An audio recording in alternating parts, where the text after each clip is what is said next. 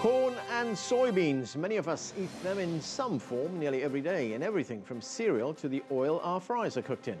They're also two of the most commonly genetically modified foods in the United States. So what exactly is genetically modified food and is it safe for us to eat? I'm Anand Naidoo in Washington, D.C. and this is The Heat.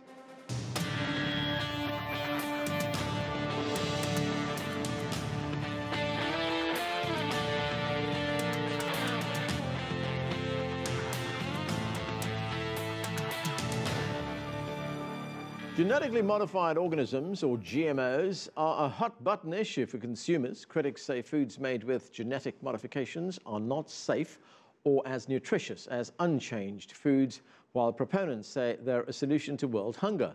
But what exactly is a GMO? A genetically modified organism is just what it sounds like, an organism that's been genetically changed through artificial engineering to give it new traits. In food, that means plants may be altered to increase growth or resist pesticides. For example, some genetically modified corn crops have been designed to resist insects, allowing farmers to grow it in areas they haven't been able to before.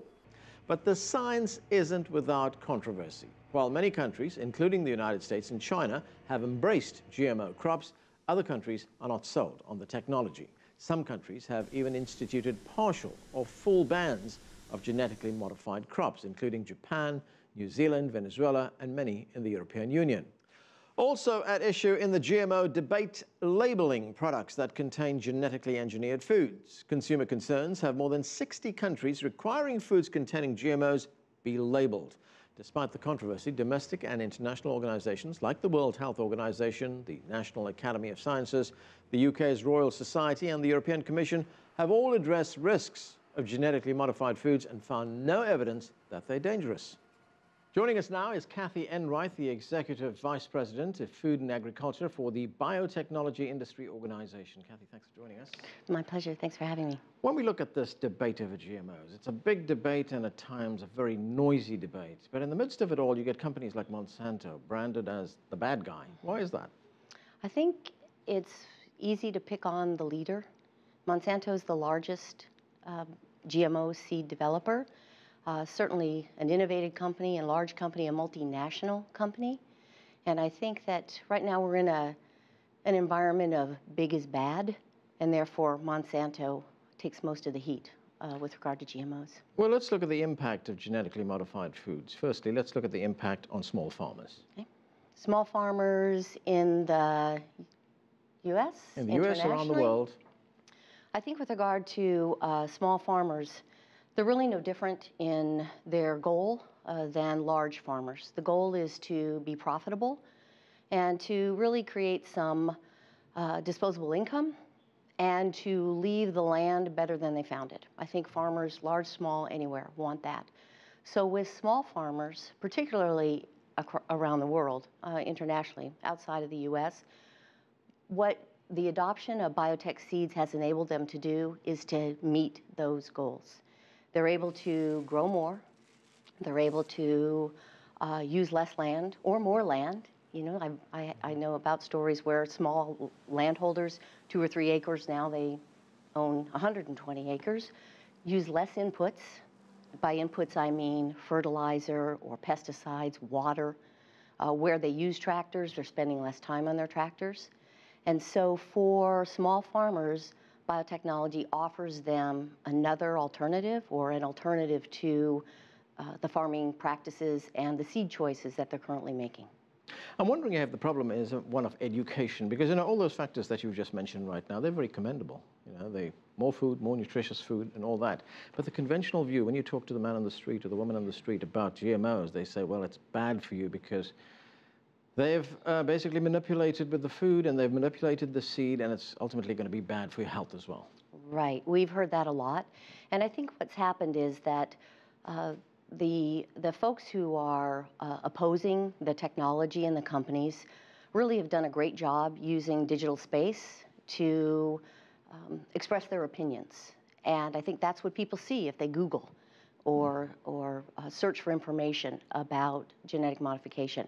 The fact of the matter is, when we talk with folks about the, that technique, no one really knows what it is. I mean, if you're a scientist like myself, or you're a farmer, certainly you might know, but the average man, woman on the street doesn't really understand what that means, that it is an extension of, of uh, traditional seed breeding. It is our most precise, accurate method of seed breeding.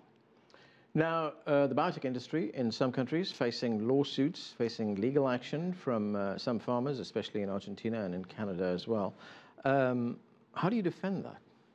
I can't speak for them. Yeah. I can't speak for them. All I all I can do is is um, you know folks have a right to raise a claim, right, right from either side, and so I'm going to let the companies and the courts adjudicate those those challenges.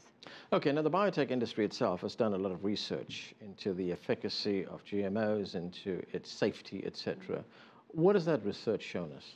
The research has shown us that uh, there is no new issue or concern, health, safety, environmental concern raised by the adoption, the production of GMO seed. And not only is it our studies, right, where someone might call those into question because they're funded by the companies, but hundreds and hundreds of independent studies have confirmed this, uh, including a decade's worth of research uh, conducted by the European Union governments. Right? They came to the same conclusion. There's not a new issue raised here. Right. Another big issue that we're hearing about a lot, and that is labeling. That you know, whatever the food uh, is, you know, we have to know how it came to be that. You know, if it was genetically modified food, then the labeling has mm -hmm. to mm-hmm. show that. Mm -hmm. Why is there such a controversy over that? I think it's the how the information is provided. We absolutely support a consumer's right to know, right? I want to know what's in my food. I might be interested in, in um, how it's made. So if I'm looking for that information, I need to know where to go to get it. It has to be accessible. The challenge that we have as an industry with the demands for labeling as they currently stand is that they're really meant to prejudice a seed breeding technique and a, a production system of, of, farming that we're proud to be a part of, a part of and we support it. So I think the conversation has to uh, mature. I think we can work together to find ways to provide that information, but a mandatory label that, in our opinion, conveys that the food that is grown from crops produced from our seeds is somehow less than, less nutritious, less safe, uh, less healthy, we can't support that. We have to find another way. Well, I guess then it's not the label, it's actually educating people about what you believe to be uh, very nutritious food. Uh, it's got to the stage now where you have some states uh, here in the United States that are legislating for this. Yeah, we do, and it's that's curious. I mean, uh, the sentiment from the folks who are proponents of labeling is very compelling, right? And it's it's very effective. Assertions made about health and safety claims uh, take a few minutes to refute, a few minutes to explain, right? And as I said, folks not understanding what GMOs are, it sounds scary. I look on the internet, it looks pretty scary, so maybe I want, I want to know. But if there's a health or a safety issue, a concern about a food, it shouldn't be labeled, it shouldn't be on the market, right? So we certainly are trying to work with the states to help educate them and provide information to help assuage concerns. And one of the things that our industry did last year was to launch an effort uh, called GMO Answers. Again, we think people should know, and it was our commitment to an open, transparent dialogue about GMOs, about how your food is grown, about our companies and our practices, including Monsanto's. Where folks are invited to ask any question, and we have independent third-party experts who will answer those questions, and we have company experts, such as myself, who put their name and their photo to, to questions that are asked. In addition, I travel all over the country uh, and will meet with any group that has uh, that is interested in seeking more information about GMOs. It's a small step, but I think it's a really important step. We are committed to providing this information.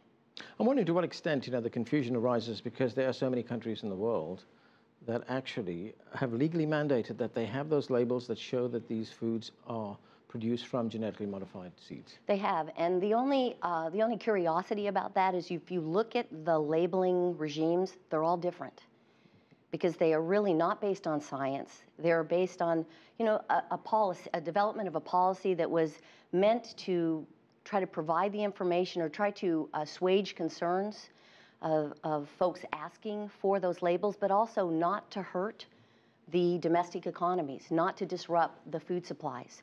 So you'll see uh, in some countries, the labeling is based on whether there is a, um, a new trait in the food, right, or whether you can detect a new trait in the food. The process versus the product.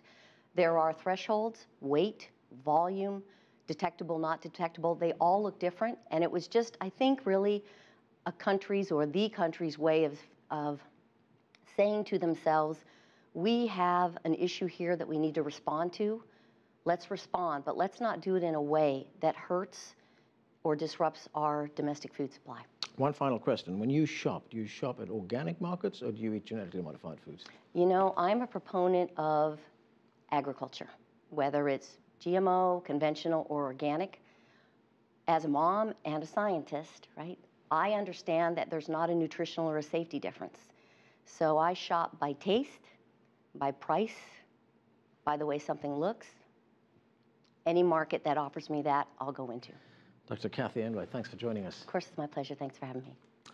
And we are going to take a break right now. Coming up, the other side of the debate over genetically modified foods with an anti GMO environmentalist. Stay with us, you're watching The Heat.